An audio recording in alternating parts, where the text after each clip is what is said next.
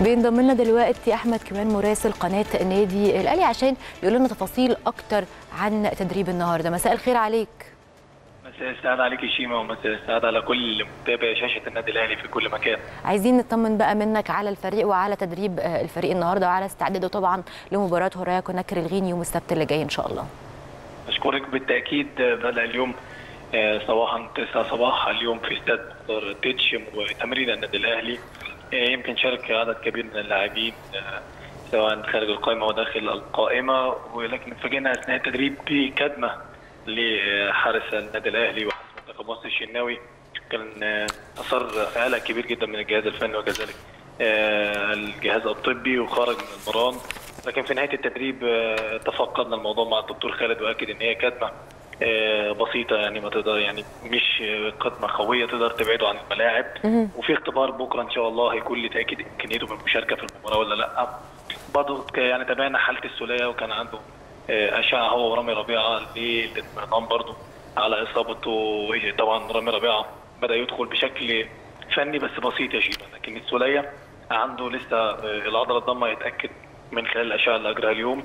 مروان محسن طبعا خارج المباراة ميدو جابر جاهز. ناصر ماهر بنسبة كبيرة هيكون جاهز. سعد سمير الخلفية بالنسبة له هيكون معاه اختبار بكرة طبي للاطمئنان بشكل نهائي إن هو يكون مشارك ولا لا. يعني بكرة إن شاء الله اللي هيتحدد سعد سمير هيشارك ولا لا. عشان في أخبار نزلت النهارده بتقول إن خلاص مش هيشارك سعد سمير لكن لسه طبعا في فحص بكرة وهو ده اللي هيحدد مشاركته من عدمها.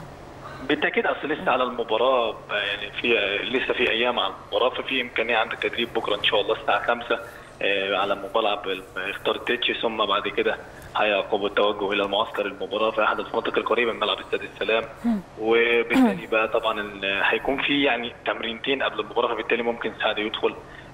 ولكن أنا الحاجة الجميلة اللي برضو كنت عاوز أوصلها لك فيما إن يعني أغلب اللاعبي النادي الأهلي خرجوا من التدريب وراحوا لمحمد نجيب يزوروه في مستشفى قريبة من النادي الأهلي وهو خرج النهارده محمد نجيب.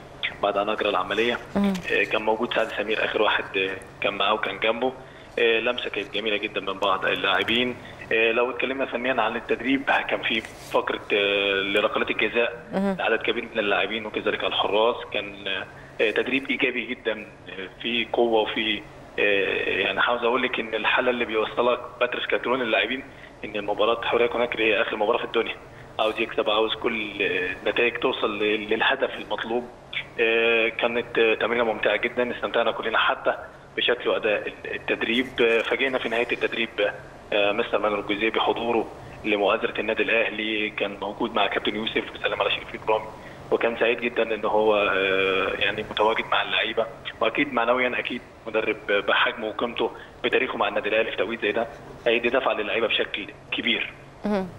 صحيح. طيب بالنسبة طيب بالنسبة بقى للمعسكر إن شاء الله إن شاء الله الأهلي بكرة عنده تدريب الساعة 5 بعد كده هيدخل معسكر زي ما قلت لك في أحد الفنادق القريبة جدا من السلام آه ثم يجري المران الأخير آه إن شاء الله يوم الجمعة على ملعب استاد السلام آه اللي هيتلعب عليه. يعني بكرة إن شاء الله بعد تدريب الصبح هيكون آه الفريق يتوجه؟ الساعة 5 إن شاء الله. تدريب بكرة الساعة 5 الساعة 5 التجمع الساعة 4 تدريب الساعة 5 بعد كده بعد انتهاء التدريب سيتوجه اللاعبين طبعا إلى معسكر المباراة يمكن معسكر المباراة بالنسبة للماتشات الافريقيه بيبقى قبلها بيوم عشان بتمرن على ملعب المباراة عكس مباريات الدوري لأن في احتكاك كبير جدا. أكيد. التوقيت بيبقى يعني قريب قوي من المباريات.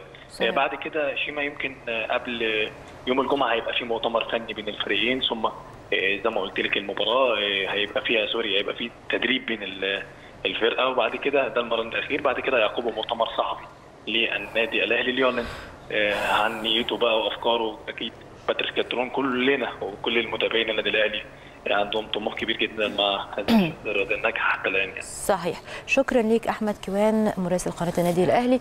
أشكرك جدا على المعلومات اللي قلتها لنا النهارده.